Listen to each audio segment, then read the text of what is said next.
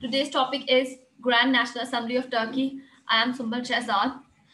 Uh, you all know कि Turkey जो है वो यूनिकैमरल लेजिस्लेचर है। इसमें सेनेट का कोई कंसेप्ट नहीं है। लोअर हाउस ही है सिर्फ़ और सिर्फ़ या अपर हाउस ही कह लें उसको। तो ये लेजिस्लेचर है टर्की का जो सारे लॉज बनाता है ये एक ही हाउस है। इसमें 600 मेंबर्स हैं जो कि लोग डायरेक्टली इलेक्ट करते हैं सीक्रेट बैलेट के through on the basis of adult suffrage ठीक है अडल्ट सफराज का मतलब पता है ना, और सीक्रेट बैलेट का मतलब पता होगा, फिर भी मैं बता देती हूँ। अडल्ट सफराज में यू नो कि जब हमारा आईडी कार्ड बन जाता है, हम 18 इयर्स के हो जाते हैं तो हम वोट डाल सकते हैं। सीक्रेट बैलेट में क्या होता है, आप जिसके भी नाम पे स्टैंप लगा रहे हो, वो सीक्रेट होती है, वो सिर्फ़ आपको है।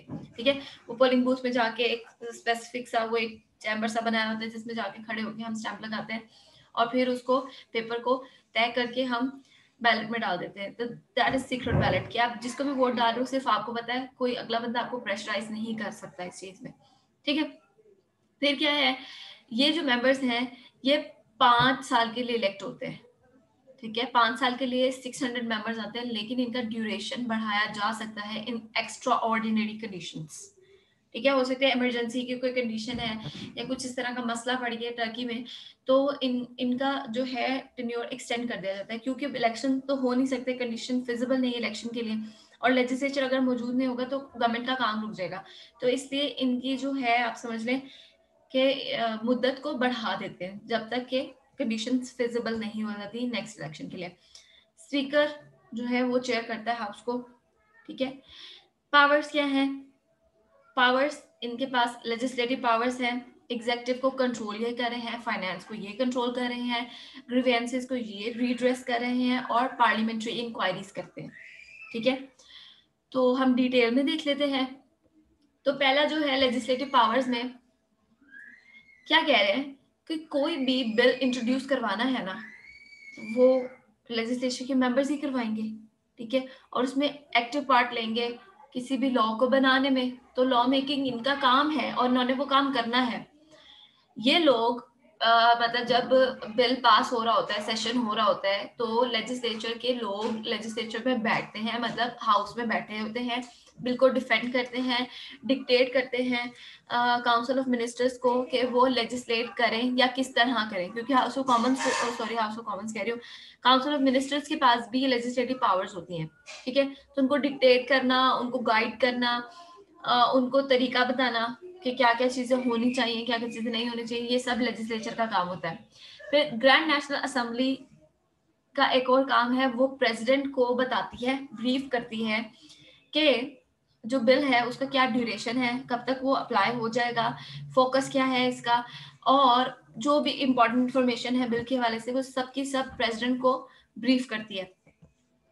कंट्रोल ओवर एग्जेक्टिव अब कंट्रोल ओवर एग्जेक्टिव में हम सब जानते हैं कि जो लेजिस्लेचर है ना, अगर parliamentary form of the government है ना तो मिनिस्टर्स को अकाउंटेबल रखता है। तो यहाँ पे भी ना एक प्राइम मिनिस्टर होता है और काउंसिल ऑफ़ मिनिस्टर्स उसकी कैबिनेट है, ठीक है? तो ये जो ग्रैंड नेशनल असेंबली लेजिस्लेचर है पार्लियामेंट से ही जो मिनिस्टर्स हैं वो चुने गए हैं। तो ग्रैंड नेशनल असेंबली इस काउंसिल ऑफ़ मिनिस्टर को जो है वो अकाउंटेबल रखती है रिस्पॉन्सिबल रखती है। ठीक है? इनसे सवाल सवाल पूछे जा सकते हैं पॉलिसी मेकिंग के हवाले से, काम के हवाले से एडमिनिस्ट्रेशन के हवाले से इनके इदारे की, ठीक है? फिर इनको अकाउंटेबल रखते हैं इंक्वायरीज बैठती हैं इनके ऊपर अगर कोई भी इशू हो गया है। फिर अगर अगर प्राइम मिनिस्टर या किसी मिनिस्टर के अगेंस्ट जो है इनको कॉन्फिडेंस नहीं रहा तो ये मोशन ऑफ़ नो कॉन्फिडेंस भी ला सकते हैं।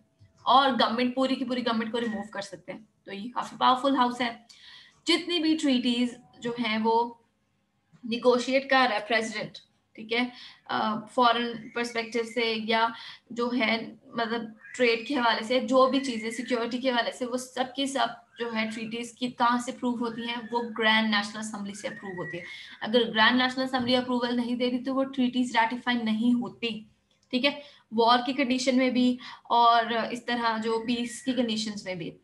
फिर प्रेजिडेंट के पास ना एक पावर है पावर्स ऑफ़ प्रेसिडेंट की है या सेलिंग फीचर्स किए तो उसमें इमेजिन था कि प्रेसिडेंट के पास पावर है काउंसिल ऑफ़ मिनिस्टर के पास पावर है कि वो इमरजेंसी डिक्लेयर कर सकता है कंट्री में, ठीक है? सिक्स मंथ्स या लेस के ड्यूरेशन के लिए। तो ये कर तो सकते हैं, लेकिन इन्हें पहले council of ministers sorry Grand National Assembly से पूछना पड़ता है, ठीक है? कंसल्ट करना पड़ता है कंडीशंस बतानी पड़ती है, उसको सेटिस्फाई करना पड़ता है। जब ग्रैंड नेशनल असेंबली सेटिस्फाई हो जाती है तो फिर ये लगा देते हैं इमरजेंसी अच्छा मार्शल लॉ डिक्लेयर करना है तो भी अप्रूवल चाहिए ग्रैंड नेशनल असेंबली की अदरवाइज़ आप मार्शल लॉ नहीं लगा सकते। जब हमने मार्शल लॉ के वाले से पढ़ा था ना तो वहाँ लिखा हुआ था कि ग्रैंड नेशनल असेंबली का सेशन अगर नहीं हो रहा ना तो स्पेशल स्पेशल सेशन बुलाया जाएगा और उनसे अप्रूवल ली जाएगी। अगर अप्रूवल मिल जाती है तो आप मार्शल लॉ डिक्लेयर कर सकते हैं। ठीक है? तो इतना ऑथराइज ये हाउस है। फिर अगर अगर आ, मतलब टर्की में किसी ट्रूप से किसी ट्रूप्स ने गुजरना है किसी कंट्री के ट्रूप्स ने गुजरना है उनको रास्ता चाहिए वो जा दूसरी कंट्री में जाना चाहते हैं सिर्फ़ और सिर्फ़ टर्की की टेरिटरी से गुजर के या कुछ अरसे रुकना चाहते हैं टर्की की टेरिटरी में तो भी ग्रैंड नेशनल असम्बली बताएगी ठीक है? इनका लेजिस्लेचर अप्रूव करेगा। अगर वो अप्रूव नहीं करता तो ना ट्रूप्स ना स्टे कर सकते हैं ना ही पास कर सकते हैं टेरिटरी से। ठीक है? तो ये कंट्रोल ओवर एग्जेक्टिव है। फिर फाइनेंस के साथ फाइनेंस uh, के साथ आप सब जानते हो कि लेजिस्लेचर का ही वास्ता पड़ता है। ये बजट बनाते हैं मॉनिटरी पॉलिसीज़ बनाते हैं और टैक्स लगाते हैं और बताते हैं कि टैक्स के पैसे ने कहाँ कहाँ कितना कितना खर्च होना है। ठीक है? तो गार्डियन होते हैं नेशनल फाइनेंस के लेजिस्लेचर तो यहाँ पर भी ग्रैंड नेशनल असेंबली वही काम कर रही है।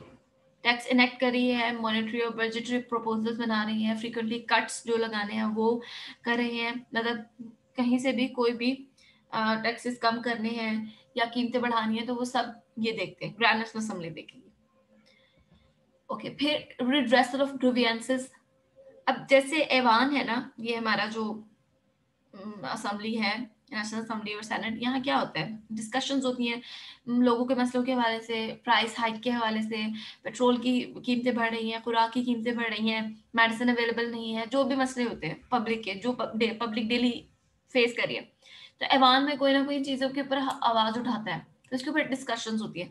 तो यहाँ पे भी ग्रैंड नेशनल असम्बली में भी जो लोगों के ग्रीवियंसिस हैं, उनकी डिस्कशंस होती हैं। एग्जॉस्टिव डेलिब्रेशन होती हैं, ठीक है? और फिर क्या होता है, कोई सोल्यूशन निकाला जाता है, ठीक है? कोई सोल्यूशन निकालने की कोशिश की जाती है। ये नॉर्मली सोल्यूशन निकालते हैं या अपनी ओपिनियन पेश करते हैं किसी भी स्पेसिफिक इशू पे रेजोल्यूशन को पास करके, ठीक है? रेजोल्यूशन पास कर देते हैं, फिर रेजोल्यूशन पास करने के बाद उसमें जो टू थर्ड मेजोरिटी वगैरह चाहिए होती है, वो हो जाती है। फिर वो मेजोरिटी जब उसको मिल जाती है उस रेजोल्यूशन को तो क्या होता है, उसको अप्लाई कर देते हैं कंट्री के ऊपर। ठीक है? अगर कुछ भी कंडेम करना है अप्रूव करना है, वो सब कुछ रेजोल्यूशन को पास करके करेंगे। अच्छा फिर उसके बाद क्या है हमारे पास? पार्लियामेंट्री इंक्वायरीज पार्लियामेंट्री इंक्वायरीज में क्या है कि अगर कोई भी मतलब मिनिस्टर है, जिसके वाले से ये शकू को शुभात है कि ये करप्ट है, या गलत है, या सही से काम नहीं कर रहा तो क्या होगा? तो जो अरकान है ना असम्बली के, ग्रैंड नेशनल असेंबली के जो अरकान हैं, वो क्या करेंगे कि वन टेंथ मेंबर ठीक है, वो अप्रूव करेंगे इंक्वायरी को। ठीक है, अगर वन टेंथ मेंबर भी वोट दे देते हैं ना इंक्वायरी के हक में तो इंक्वायरी बैठ जाएगी। ठीक है इंक्वायरी स्टार्ट हो जाएगी मिनिस्टर के अगेंस्ट या किसी भी हाई ऑफिशियल के अगेंस्ट ठीक है, फिर क्या होगा, वो इंक्वायरी स्टार्ट हो गई कमेटी बन गई। अब कमेटी अपनी जो है वो मतलब जो इंक्वायरी रिपोर्ट्स है वो लेकर आएगी। फिर ऐवान में वोटिंग होगी, ठीक है? किसी भी एक जो है वो आप समझ लें कि इंक्वायरी रिपोर्ट पे वोटिंग होगी। अब वोटिंग के हक में अगर टू थर्ड मेजोरिटी आ जाती है तो जो मिनिस्टर्स हैं, वो क्या होंगे? उनको घर भेज दिया जाएगा। फाइन उनके अगेंस्ट जो है वो फैसला आ जाएगा। प्राइम मिनिस्टर या मिनिस्टर्स जो हैं, वो इसके अगेंस्ट सुप्रीम कोर्ट में जा सकते हैं। ठीक है? तो ये पार्लियामेंट्री इंक्वायरीज हैं। ये हमारे पास ग्रैंड नेशनल असेंबली कंप्लीट हो गया। और इसके हवाले से कोई सवाल जवाब है तो आप मेरे से पूछ सकते हैं।